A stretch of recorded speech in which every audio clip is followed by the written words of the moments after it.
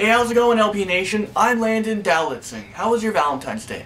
Hopefully it was a lot better than Oscar Pistorius's. Do you guys remember him? Well, you guys probably know him as Blade Runner. He was the first ever South African sprinter to be in the Olympics as a double amputee. Also known as the fastest guy with no legs. Well, right now, there's a murder allegation against him for killing his girlfriend, and they're calling this the Valentine's Day murder. He said that it was a mistake, a surprise that went tragically wrong. He thought she was a burglar, when he shot her four times in the head and hand with the shotgun that he keeps next to his bed. She was pronounced dead at the scene. His girlfriend was Reeva Steenkamp, a 30-year-old law graduate. For the past two years, she was named in the top 100 sexiest women, and this all happened in his luxury home. They've been dating for only three months. Months before this incident, he posted this onto Twitter. Nothing like getting home to hear a washing machine and thinking it's an intruder. Blade Runner almost shot his freaking washing machine also. Buddy, how paranoid are you? Police are saying that her death is being treated as murder. He's in custody right now and is due back in court. He is an icon in Africa, and already people are taking down billboards of him. He's sponsored by Nike, and Nike has already taken down their billboards, and they're no longer going to be sponsoring the Blade Runner.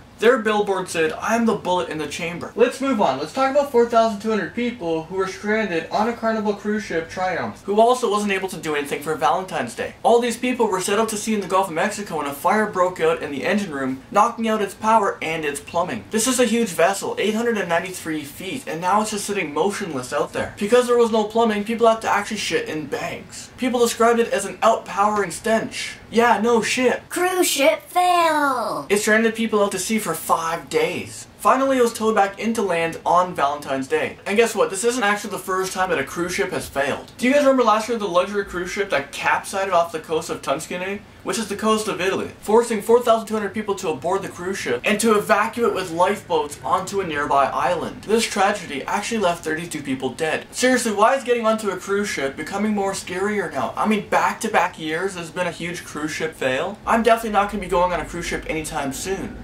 The chief executive Gary Cahill said in a statement that he's going to refund everyone's ticket back with an additional $500. He said to the media that he's very sorry that our guests had to endure this. What do you guys think of the story? Is $500 enough for these guys for what they have to go through for five days? You had people on a cruise ship shitting in bags. Guess what? There's a new world record for the longest kiss. Nine couples came together to compete for this competition. And the winner of this world record was going to get cash and prizes. Participants Ake Kecha, I can't really say his name, so his name will be right there, who is 44 years old, along with his wife, has set a new world record, which lasted 58 hours, 35 minutes, and 58 seconds. The couple won this title for the second time in three years.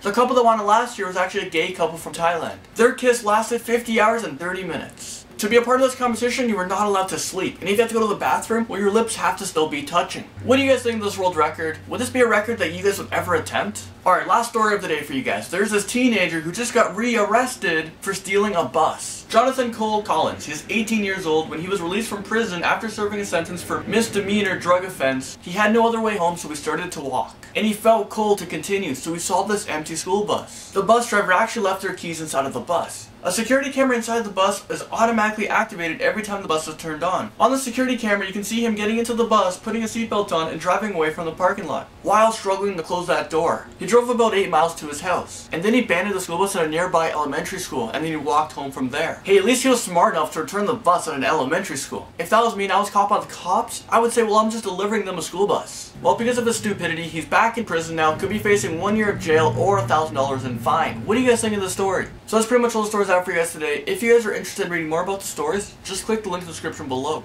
I'll see you guys tomorrow.